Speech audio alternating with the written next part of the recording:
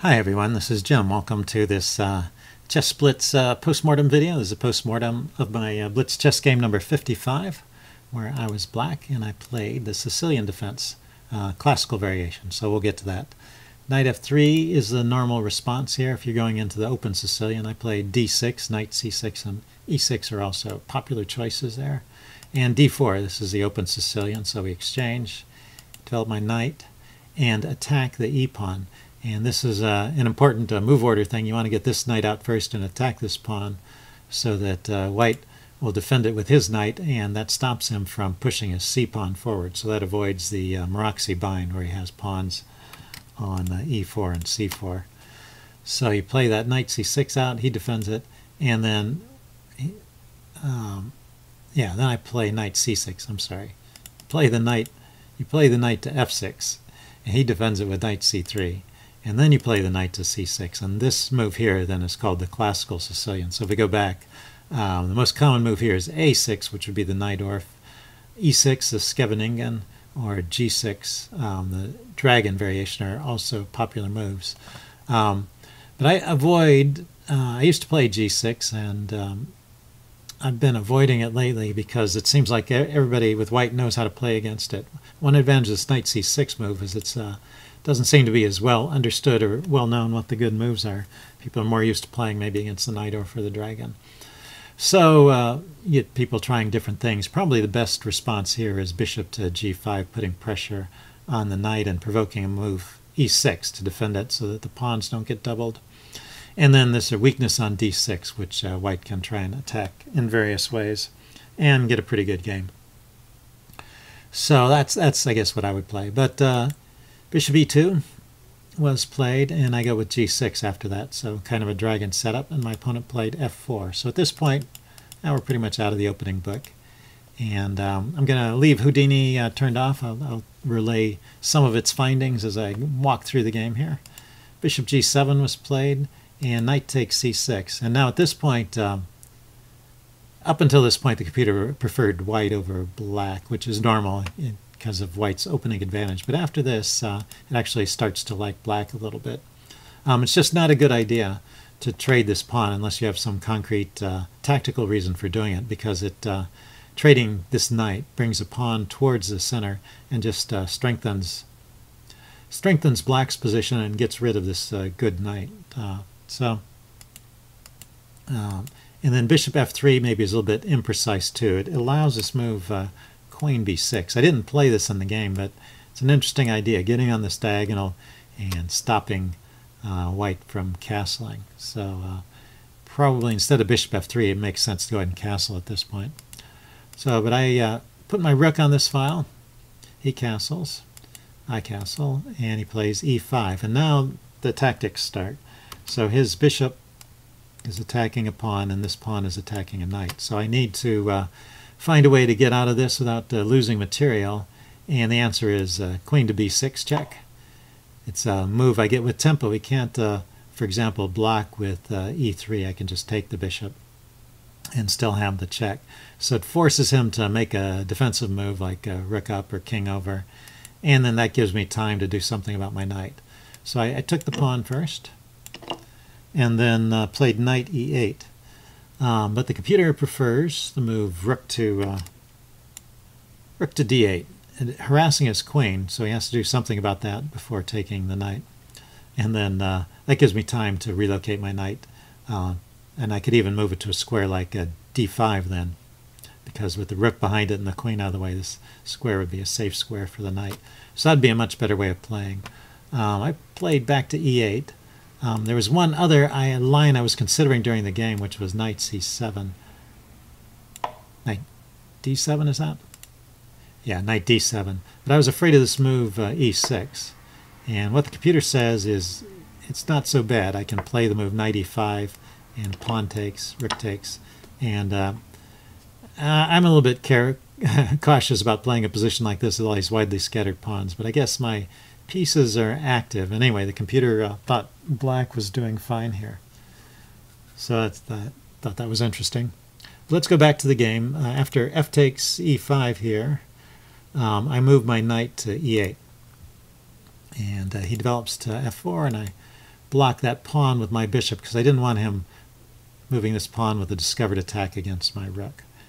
Plays queen d3, and I went knight c7, getting my knight into the game. Yeah, the computer thought also knight c7 would have been better previously. And uh, actually, if I play that, I don't even have to play the move bishop e6. So uh, probably a better way to play it. So b3, rook fd8, hitting the queen, queen to e3. And now queen e3 is a real mistake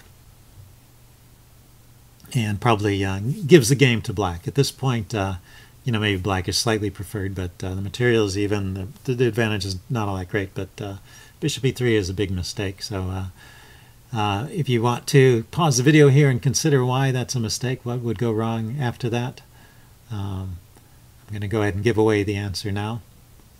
Um, after queen e3, it, what goes wrong is what was actually played in the game. It's I just take the queen, and then I take the pawn.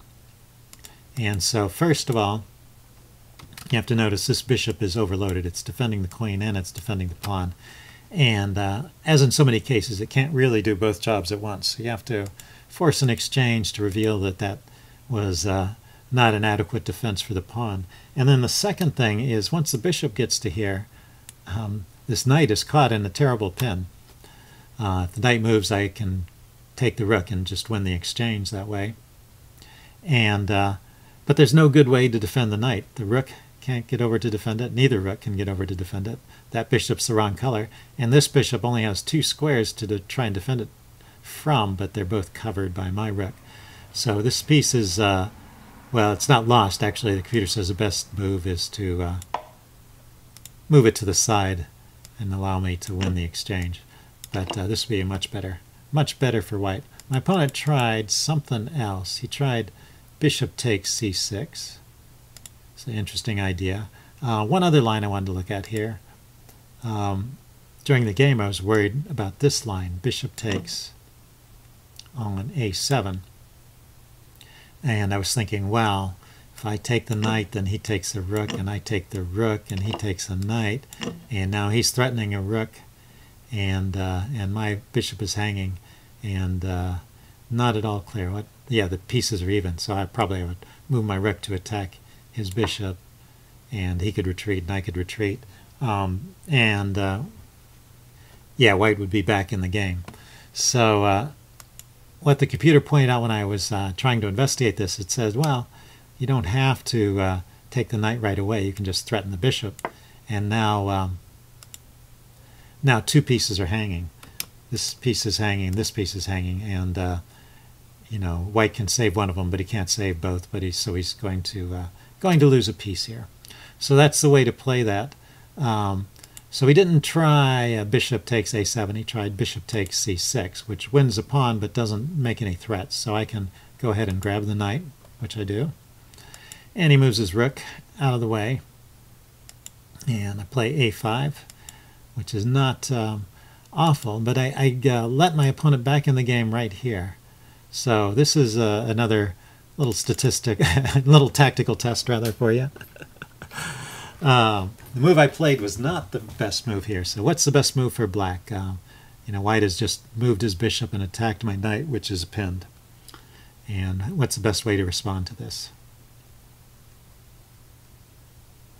Okay, pause the video if you want uh, more time to consider this. I'm going to give away the answer.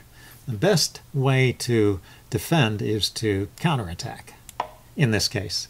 And that's often true. That's a common expression in chess. Uh, the counterattack is, is often the way to go when your pieces are under attack. And why is this attack go so good? Well, I'm not attacking one bishop, I'm attacking two. If one bishop moves out of the way, um, then I get the other bishop. So at best, this uh, just turns into a trade. He can take the knight, and I can take his bishop, and then he can retreat his bishop somewhere. Um, and so I'm just a piece up at this point, and that would be very good for me.